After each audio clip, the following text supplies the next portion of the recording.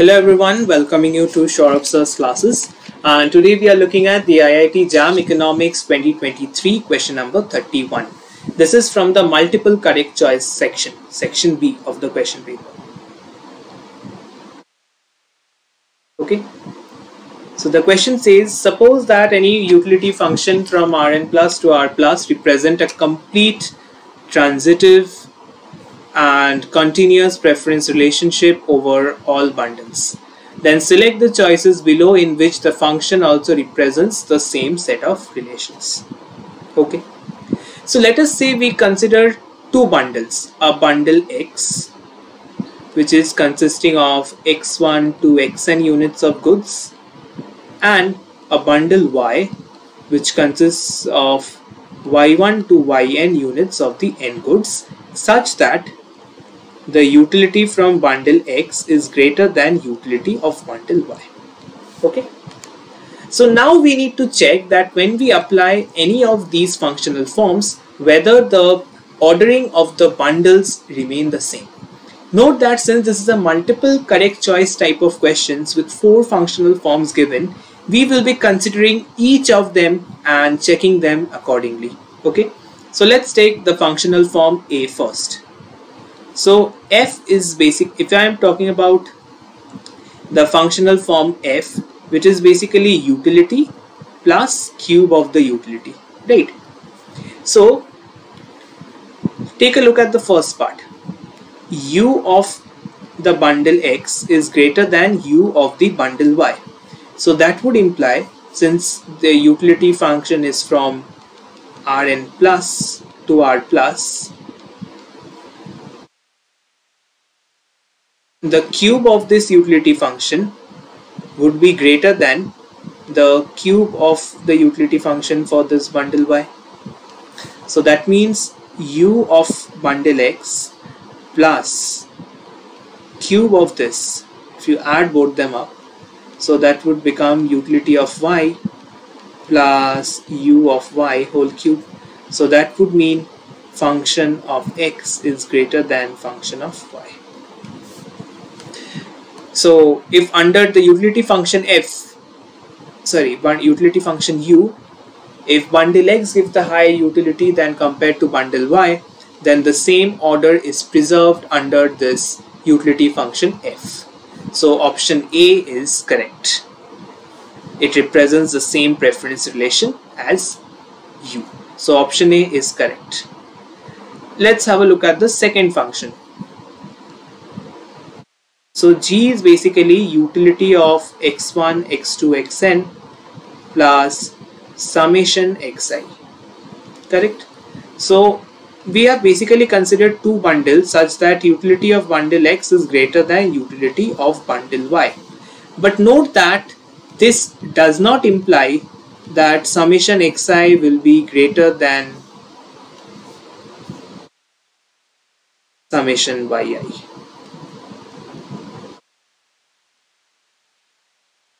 So that means u of x plus summation xi need not necessarily be greater than u of y plus summation yi. So that means g does not represent g of x need not necessarily be greater than g of y. So g does not necessarily represent the same preference okay? So B is out. B will not be the correct answer. Now coming to option C. The H function is u to the power 1 by n. Okay? So this is essentially a kind of monotonic transformation. So if u of x is greater than u of y if we take two bundles then if you take 1 by n nth power then that will keep the order unchanged. So that implies h of x greater than h of y. So this represents the same preference profile. So option C is also correct. Now comes option D. M is basically u of x1, x2, xn plus square root of summation xi square. Now again by a similar logic that we applied for option B, if we consider two bundles x and y such that utility from bundle x is greater than utility of bundle y, then it does not necessarily mean that summation xi square will be greater than summation yi square. That's not necessary. Because we are not said anything about the monotonicity of the utility function u. So this is not necessary. So that means by using the same logic in option B, M will also not satisfy. So B and D are out, A and C are the correct options. So there are two options in this case, option A and option C that represent the same preference relation as U. Thank you. Now let us come to question number 32 of the IIT JAM Economics paper 2023. This is also a question from section B so there can be more than one correct option so we need to evaluate it accordingly. So consider a two agent, two good economy with an aggregate endowment of 30 units for good X and 10 units for good Y. Agent I's utility function is max of xi comma yi we need to select the choices below in which the specified allocation of goods to the agents is Pareto optimal for the economy. So again we have an identical utility function ui is equals to max of xi comma yi where i equals to 1 to 2. The total endowment of good x is 30 and the total endowment of good y is equals to 10. So now if we construct the Edgeworth box, it will be a horizontal rectangle kind of a thing. So this will be the origin for agent 1, origin for agent 2. So along this direction we have x1, along this direction we have y1, along this direction we have x2, along this direction we have y2. So the total endowment of X is 30 and the total endowment of Y is 10. Okay. So now we will essentially try to understand how the contract curve will look like and we'll see which of the four options is basically repre representing points on the contract curve. So if we now draw the indifference curves for agent 1, it will be inverted L-shaped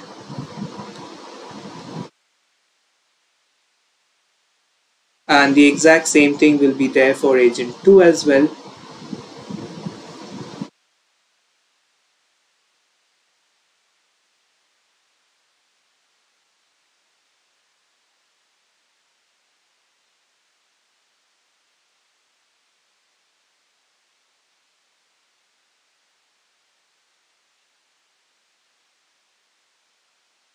The indifference curves would look something like this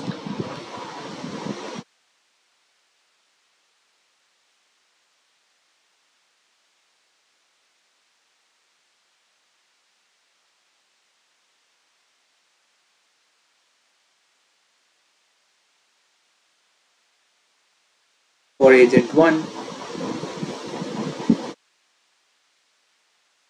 and for agent 2 it would look the other way around.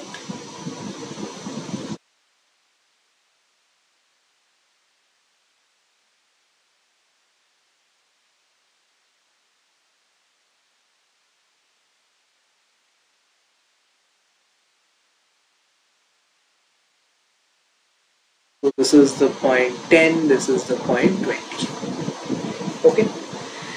So given this structure we want to find out how the contract curve looks like. So the idea is that if you fix the level of utility let's say I am fixing the level of utility of agent 2 as represented by this indifference curve. Then what is the highest indifference curve that agent 1 can reach? Although if you look at this the third indifference curve that I have drawn outer one, the shaded one. This is the full length of the indifference curve which can fit in the Edgeworth box. But even after that, it can move higher, higher and higher. it is coinciding with this part and it can further move on so this is the part at which it will coincide